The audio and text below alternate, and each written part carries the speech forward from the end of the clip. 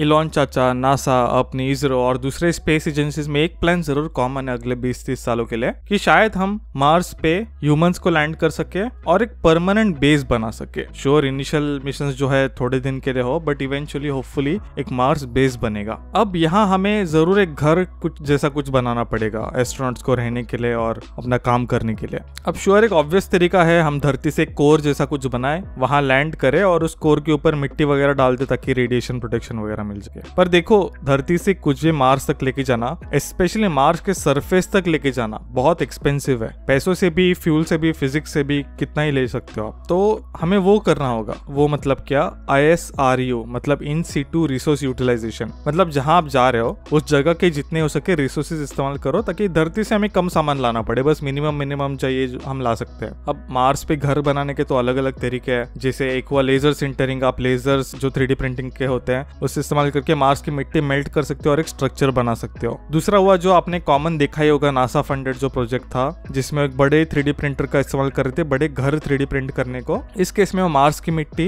Plus bioplastic या PLA PLA एक common filament है थ्री प्रिंटिंग में जो प्लास्टिक है, वो मिक्स करके एक घर बना रहे थे। अब इन सब के एडवांटेजेस डिसएडवांटेजेस है उस पर नहीं जाएँगे। अलग अलग तरीके चलते रहेंगे फाइनल होने तक। अपने आईआईसी बैंगलोर के साइंटिस्ट जो है पर्टिकुलरली डॉक्टर आलोक कुमार की टीम वो काम कर रही है ईटो पे यानी ब्रिक्स पे मार्स सॉइल को इस्तेमाल करके किसी ने ईटो में बदला जाए। अगर आप ओल्ड सब्सक्राइबर हो तो आपको याद है, मैं डॉक्टर आलोक के लैब को विज़िट किया था, जब उन्होंने मून ब्रिक्स का पेपर पब्लिश किया था और दिखाया था न्यूज़ में आपने देखा होगा।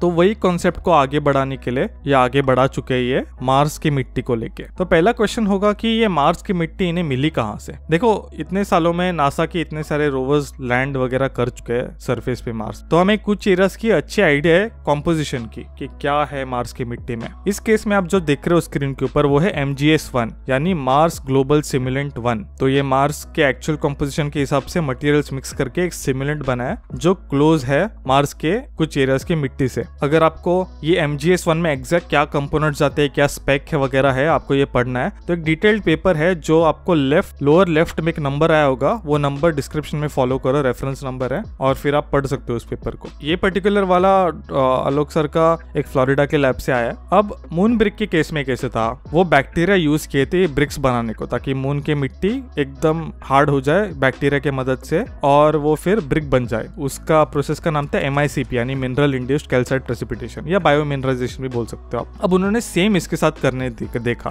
कि आप वो मिट्टी लो बैक्टीरिया को डालो बैक्टीरिया का फ़ूड यानी यूरिया प्लस अदर स्टफ़ और उसे रिएक्ट करने दो बायोरिएक्टर में। पर ये प्रोसेस फेल हुआ मार्स के मिट्टी के केस में। क्यों? क्योंकि अगर आप मार्स की मिट्टी को देखो तो उसमें आयन कंटेंट बहुत है। आई I मीन mean, इसलिए तो वो रेडिश है ना आयन ऑक्साइड की वजह से। और आयन कंटेंट जब ज़्यादा होता है तब ये बैक्टीरिया मर जाती है आयन पॉइजनिंग की वजह से। तो उन्होंने फिर फिगर आउट किया कि अगर वो NiCl2 यानी निकल क्लोराइड ऐड करते हैं तो ये प्रॉब्लम सॉल्व हो जाती है। और जिस वे में ये प्रोसेस ओल्ड प्रोसेस से कंपेयर करो तो ये काफ़ी फ्लेक्सिबल है। मतलब आप इसे मार्स की मिट्टी लो, उसका फ़ूड वगैरह डालो और एक स्लरी टाइप ऑफ़ बना दो और फिर कास्ट करो, यानी उसे, ऐसे मोल्ड्स में पोर करके उसे कास्ट करो और फिर आप किसी भी शेप का ब्रिक बना सकते हो। अगर आपको लंबा ब्रिक चाहिए तो लंबा, छोटा चाहिए तो छोटा। इस ब्रिक की जो करंटली स्ट्रेंथ है मार्स वाले की, वो करीब less than one fourth of हमारे जो नॉर्मल ईटे होते हैं, उससे है। पर इंप्रूवमेंट चल रही है ऑलरेडी इंप्रूवमेंट हो गया है बट वो पेपर लेट पब्लिश होगा। और अगर हमें ये मल्टीपल ब्रिक्स लेके स्ट्रक्चर बनाना है तो हम इंटरलॉकिंग स्ट्रक्चर्स बना सकते हैं ताकि वो एक दूसरे के साथ लॉक हो जैसे कुछ टेम्पल्स बने इंडिया में। पर इसके मार्स पे कैसे बिहेव करेगा टेस्टिंग करने के लिए वो एक सिम्युलेटर काइंड ऑफ़ बना रहे जो एनवायरमेंट को सिम्युलेट करेगा यानी उसका सरफेस टेम्परेचर